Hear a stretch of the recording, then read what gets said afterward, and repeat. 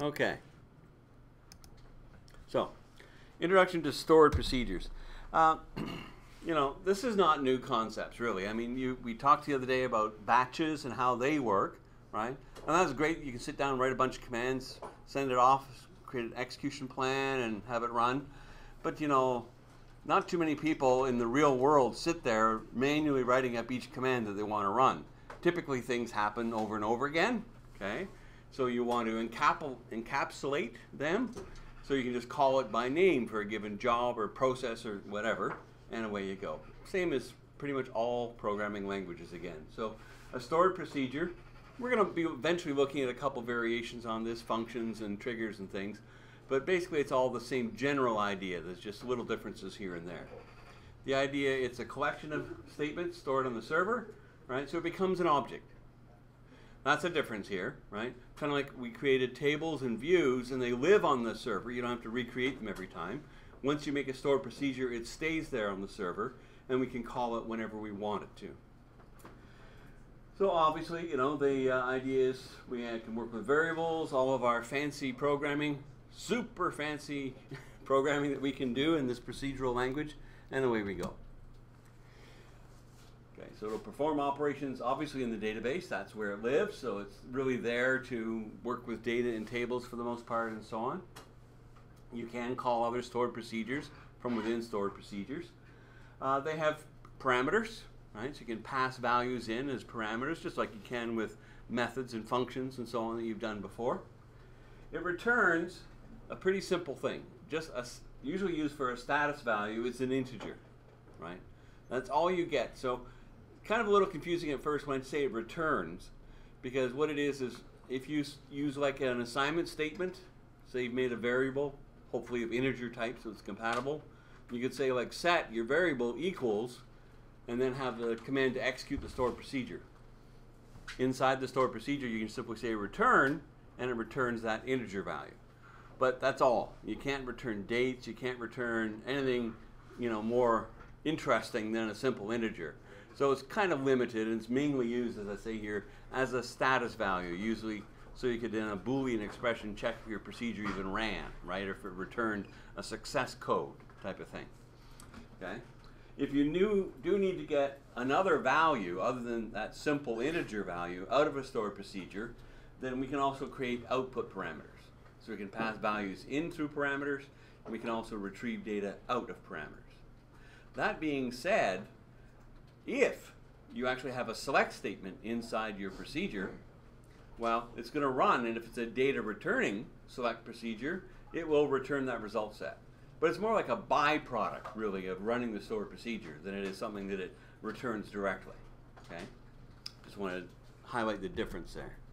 Well, how do these work? Well, we talked about batches and how they get compiled in an execution plan. So, not surprisingly, this is going to be something similar, right? The first time you call a stored procedure, it will first of all parse it, check for those uh, syntax errors and so on. And then it goes into this uh, optimization process, right? Where it'll optimize and pile it and come up with an execution plan, which gets stored, by the way, in a procedure cache, and then it will execute it, okay? So the first time it goes through all those steps, by the way, this whole optimization business, I, you know, it might be a little fuzzy in your head what that's all about. I mean, you call something to do a, a job, you think it's just going to go ahead and do it. But the thing is, in a database where you're working with large amounts of data, there are choices to be made sometimes. Do we sort first or filter first? Do we sort on this field or that field, which will give us quicker response back and things like that? How does the system know what's the most optimal way to carry out any group of commands?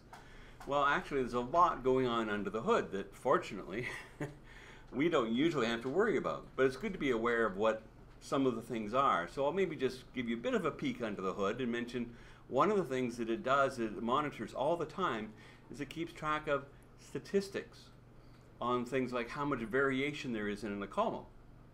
So think example even of a last name column, right? Something we cut off an index so that we can quickly process things alphabetically by last name or whatever. Well, depending on the amount of data and where the data is coming from, there could be quite a difference between how similar values are, right? Could be that every last name in your system is totally unique. No two people have the same last name. Eh, not probably very real world, right? Uh, and depending on the region of the world, you might find a lot of people with the same last name. Go to England, there's probably a whole bunch of Browns and Smiths and so on, right? In other countries, it might be uh, you or something else, right? So, you know, that's all tracked in the statistics of the tables themselves. And so the optimizer will look and see, okay, well, you know, if 40% of all the last names in this million row table are exactly the same, you know, then sorting it by that isn't going to do me much good. So I'll come up with a more optimized way to approach getting the answers you're after. Just want to give you a bit of a peek as to what kind of things happen in the optimization itself. Okay, subsequent processing, that's the first time, it's got to go through all those steps, but remember we said the execution plan could be cached. So the second time you ask for the same thing to run, uh, it will just pull that out of the cache if it's still there, and it's much, much faster, right? So that's one of the advantages, and historically, this approach was one of the main reasons why stored procedures became so very, very important and widely used in all database applications. Not quite as critical now because usually most systems will even cache the execution plan for ad hoc queries, ones that you just kind of make up on the fly, right? It used to be it was only stored procedures that would cache. Now it caches just about everything, but still, stored procedures have their power and their uses as well. Couldn't do without them. So lots of advantages, reasons why they're important. Right? The basic one is just that they do encapsulate business functionality. There's a repeated task, even something as simple as inserting a new customer, right? Or placing an order and things like that. So you might do all the steps involved in that in a stored procedure because your business process is going to call that to happen over and over and over again, right? Also, it can hide table details.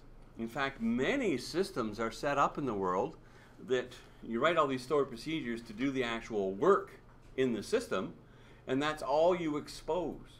So your interface to interact with the database is entirely through the stored procedures.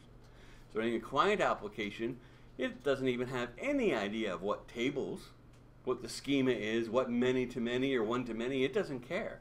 All it knows is that it has these stored procedures to call, and by doing so, you get all the work done you need to do.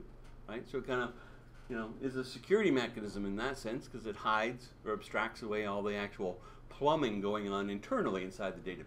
Right? Improved performance, well, we talked about that, caching and so on. And network traffic. Obviously, the more work we can do on the server, the better, right? You know, if you're talking large amounts of data, well, if you got sorting and filtering and work like that to do, you don't want to bring all the data through the network down to your local computer to their sort and filter, right? You want to do all that so a very small result set is probably what you'll get back. And it's probably faster to do it on the server because it's a more powerful machine anyway. So lots of reasons for that. Create, alter, and drop. We're going to see those over and over again. You learn them with tables and views. Pretty quick on views, but you did see it, right? Well, same kind of thing. These are objects that are going to live in the system. So to create them, big surprise, create, right? Create procedure. Optionally, you can give it a schema name, which if you don't, by default, you get what? Anyone know? Three letters were always showing up sometimes when you. Uh, Yeah. DBO, database owner. That's the default schema, unless you. By the way, people might say, well, what is a schema anyway? The idea is if you have a large number of objects in a system, and they're kind of segregated in you know what they're used for. Maybe some are all related to the online store, and some are related to the personnel department, things like that. Then you might make a schema just to make it easy to separate them into sort of logical groups and identify them by the schema name. It's really not a big deal. Okay. But the procedure name has to be unique inside the database, by the way. Uh, you can have procedures with the same name in separate databases, but not in the same database.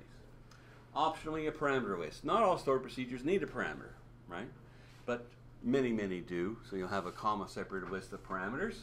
And then our good old friend, our keyword as, right? And then we have the body of the procedure uh, defined itself. Okay? Simple, simple example of a basic, basic stored procedure. And you remember me mentioning the other day about that Northwind database? That was the for years used as Microsoft's example database, and it was absolute crap. Okay, it was an internal joke at Microsoft about how bad it was. Okay, well, you'll get a chance to see some of the reasons why. Because I decided to use it to show you what not to do. Okay, so we're using Northwind here, creating procedure overdue orders, right?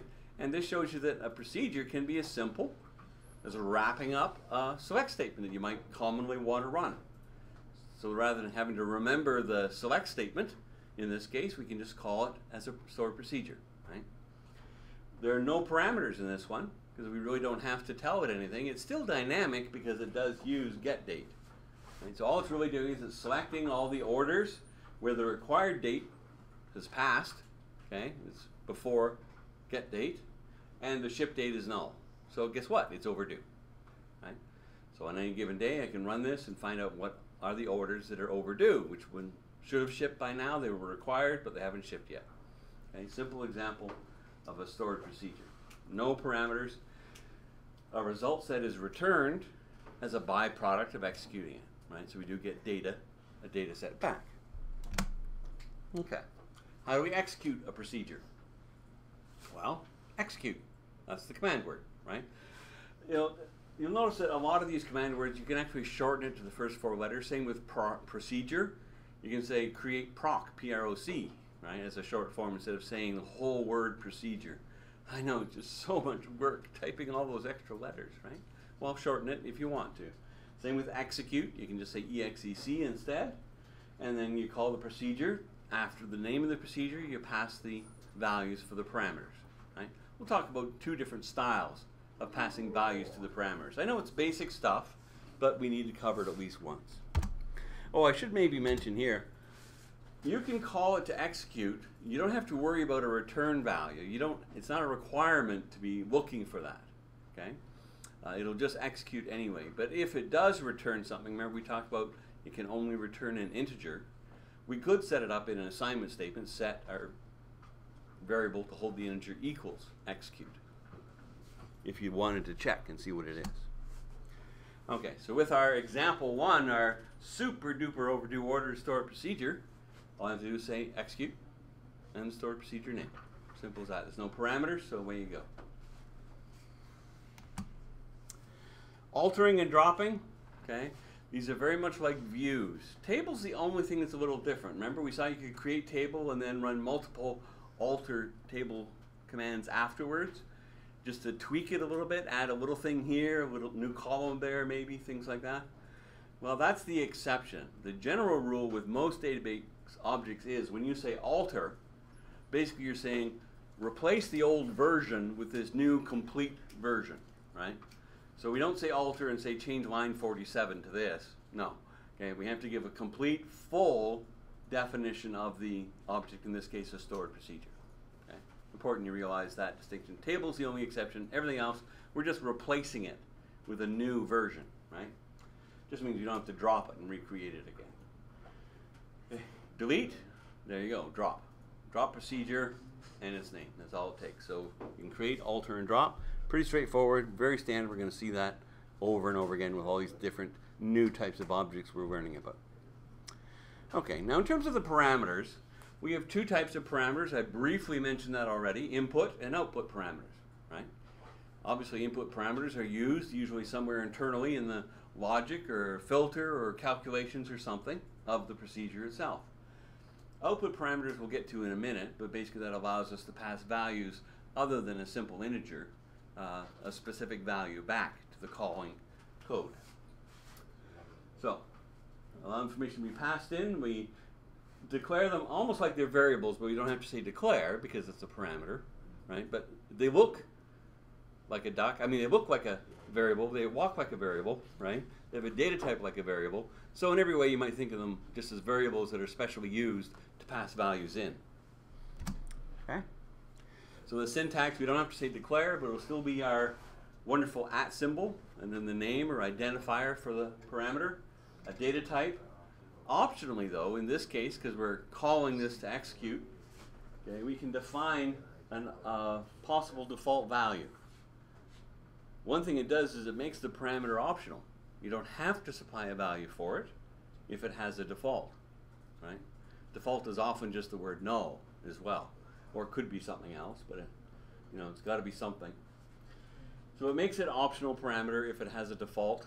Okay. If it has a default, you can still pass a value to it. It'll take whatever value you give it. It's just if you don't, don't give it a value yourself when you call the procedure to execute, then it will use the default instead. Just a note there, the default must be either a constant or the word null. You can't have an expression there. Something has to be calculated first. Okay, defaults have to be static. That sense. Okay, so here's another example of a stored procedure committing one of the worst sins in the world of database design. If you write code like this, I will come and wake you up in the middle of the night, slap you the side of the head, and say, You don't deserve to sleep. Okay? You should lose all sleep forever. Right? If you do things like put spaces in the names of things. I mean, that's just wrong. That's just terrible sin, right? But it's an example of the kind of thing they do in this Northwind database. So, create procedure, year to year sales. Okay, if you really want to call it something like that, then put underscores or something. Yeah, it's just it's just not right. Okay. Then we, in this example, we have a couple of parameters. Okay, at beginning date, type date time. At ending date, type date time. Right. Then we say as, then we have the body. So this is showing what's often considered a good practice. It's not always necessary depending on how you're using the parameters, but what we'll do is, in this case, we're going to check and see, do we have valid values to use, right? Why wait for an error to happen? Let's check first, okay? So instead of, like our try catch, instead of trying it and then catching the error, we're going to check first. So if either is null, basically, then what we're going to do is we're going to raise an error. Yes, you have the power to raise errors. Okay? As the programmer, you don't have to just get the errors all the time, like I do. you can actually raise them yourself. Okay? Raise error, you can pass a, an, a message for your error. Uh, by the way, this is a severity level. Okay? Remember we talked about there's three different ranges of severity levels. In the highest range, it just stops everything. Uh, in the lowest range, it just skips over that, says, okay, I couldn't do that one, but it'll do the next commands and so on. All right. So if either date is null, we'll raise an error, and return means that's it. We're done. We're jumping out of here, right? If we actually have values for a beginning and ending date, okay, then we just have once again a simple select statement, right?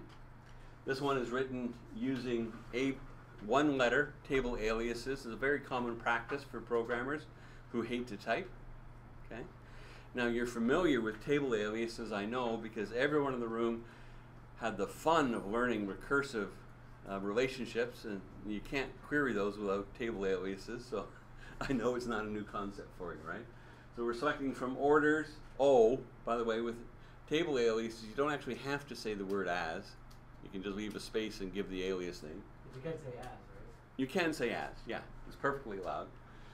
And look at this, order subtotals, that's a table. And they did that sin. They should rot forever, right? They put a space in the name of the table. It's just wrong, wrong. Okay. But you see the idea here. We have a where clause for this select query using our parameters, okay, between the beginning date and ending date, right? So you might say, well, all this really is a select query, but in a sense, we've kind of parameterized parameterized this query because we're able to pass in dynamically in code different date ranges that we want to uh, check on, right? Okay. Questions about that? All right. Uh, just a, like this is, I know you said it earlier, but the at symbol, we're using that to declare parameters. Yeah, and they're just like a variable. So just because we're using to declare variables. Yeah, yeah. Okay. Okay, so just a bit more about parameters then. Uh, just to give you lots to look at on the screen. This stored procedure here, notice I ended at the keyword as. I'm not going to worry about how it's done right now. We're focusing just on the parameters. This procedure is to add a new customer, right? What kind of a SQL command would we use probably in the body of this procedure, do you think? If I'm going to add a customer, put a customer record in a table. Yeah? You already said it update. No, that would be to update a customer. You're going to add a new one. Uh, So what's our action query? Yeah? Insert. Insert, right, okay. So eventually that's what we're going to be doing now. We're going to be inserting a record into our customer table, right? Now, you know what an insert looks like. You've worked with those quite a few times now. So basically we insert values for potentially all the fields in the table. So that's what you see listed here. These are parameters, pretty much one for one, corresponding to all the fields in the table. Typical practice for this kind of a stored procedure is look at the table. And look even the create table statement if you have access to it or just generate it. And basically what we usually do in a situation like this is we take every field, just make a parameter with the same name, just stick the at symbol in front. Right? So we have a parameter with at in front for every field. And the data types of our parameters, of course, will be exact same usually as the data types of the actual fields in the table. Right? So it gives us the ability to have values here in our stored procedure to populate all the fields in this new record we're going to create in our customer table. I think that makes pretty clear sense. But you'll notice something kind of funny going on here. All these equal nulls, right? We talked about that we can give a default value to parameters. So if we don't have anything to pass, it will use the default. What does this tell me about the structure of the table, the customer table in this case itself? Which fields are absolutely required and which ones aren't? The ones that aren't are required. Yeah, exactly. So really, there's only two. Customer ID, which I probably can guess is probably the primary key. okay, is uh, nchar. So we do supply the value for it, right? It doesn't allow null because the primary key would never allow null. Company name obviously is set up in the table design that it doesn't allow nulls either. Can't create a company without the company name. All the other fields in the table I can tell from this, or infer, I guess you could say, from this, that they probably allow null values. Which is why we've set up the parameters with defaults of null. Then when we call this to ex- execute, we only have to pass values to the ones that we want to, right? Min- at the minimum, just these two. And any other of this information we have, we can provide as well. So with that in mind, just kind of remember this. We're going to look at a couple of different ways that we can actually provide the values in a situation like this when we have all these parameters to worry about, but most of them allow nulls. So,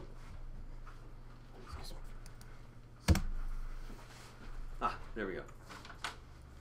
So named input parameters. Just one person, I don't know what we're doing. Oh, okay, all right. Okay.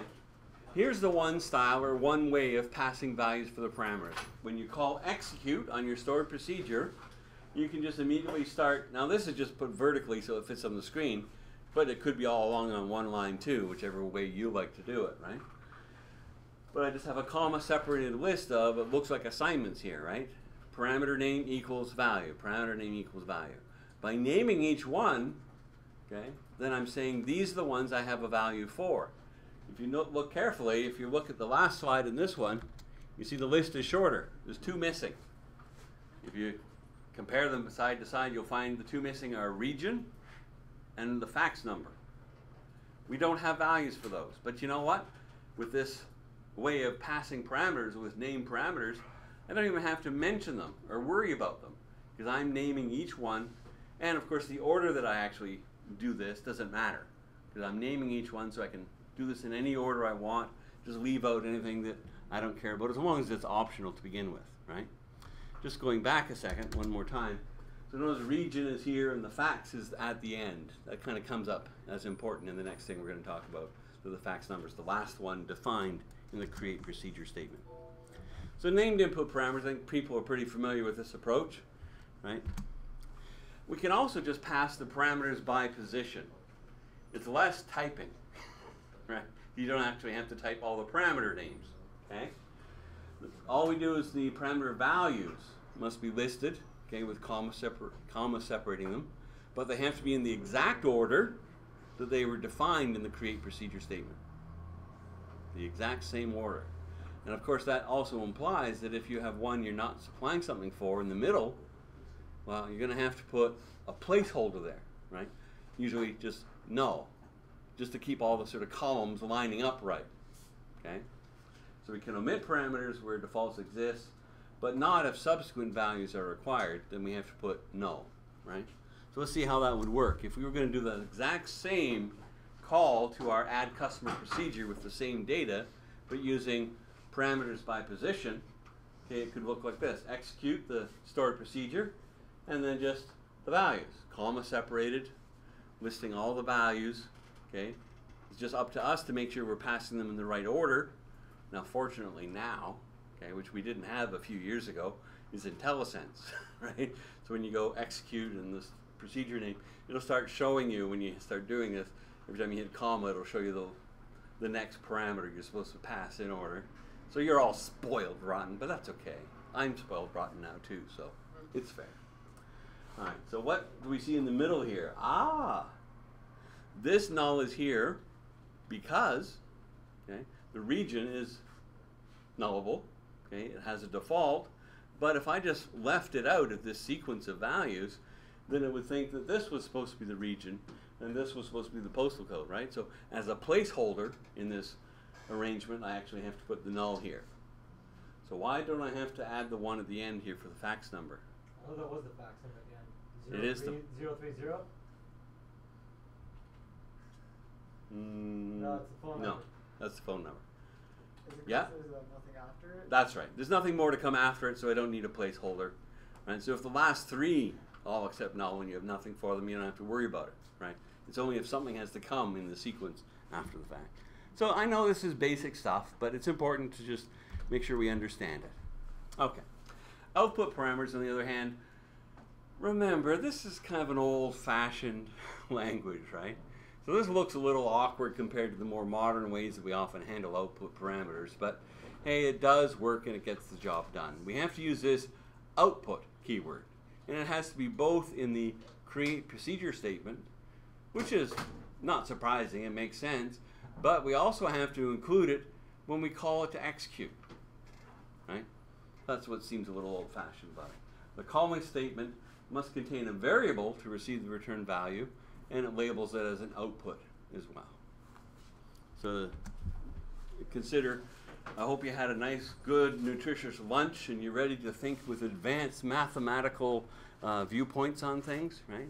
We have some uh, super sophisticated math we're doing here. All right, we're ready? Okay, create procedure math tutor. I have two parameters. Now these are input parameters. Why do I know they're input? Because they don't say output. Okay? So I'm going to pass in two small integers, m1 and m2, as input parameters. Then I'm defining a return value, in a sense, as an output parameter. Okay, I'm naming it at result. And I have to put the keyword output here as I define the stored procedure so that it will know to return this as an output parameter. I say as, and then I have my super sophisticated mathematical calculation, right?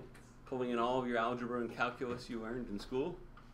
Okay, the, the result, don't forget the keyword set or select, equals m1 times m2. Woohoo! There we go. And then that's it, we're done. Okay? So that's fine. Let's see how we would call this and how we handle this output parameter. Now think about what's going to happen here we want to send a value back. How in code do you catch a value? What am I going to need in order to trap that or get that value that's passed back? What do we use to store any value in code? A variable. A variable, exactly, right? Just think of it when you're playing catch with the procedure. It's going to throw a ball back, you have to have a catcher's glove. Well, that catcher's glove in this case will be our variable that we need for our output parameter. So, to call math tutor then, I need to declare a variable. The name of this variable doesn't have to have any correlation to the names of the parameters whatsoever. I could call it whatever I want. Right? It's my variable in my script. Who cares who wrote the procedure and what they called their parameters? So I make a variable. I call my procedure here to execute, math tutor, passing as input parameters a couple of digits, okay? And then here's where I set up to receive the output. So I have to have a variable, my catcher's glove ready to receive it when it passes it back, but I also have to include that keyword output right here in the execute command, right? And then it will execute it. Oh, darn, I forgot that was up here. Okay, I was going to ask you what's what's going to be the answer. Oh, you read it, didn't you? Or did you figure it out on your own?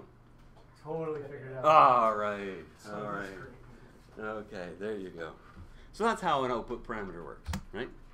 Okay, so it's I know it's basic stuff, but it's important before we go on. So in our scripting practice then, so here's those two that we dealt with yesterday. By the way, I already posted our solutions we did in class. I know we didn't quite get time to finish the second one, but I did with the next section after you, right? So there's the solutions for one and two. So I'd like you to take time, do three and four in class right now, okay? Uh, and uh, get that practice. Or, you know, if you want to, also under assignments, I should stop recording.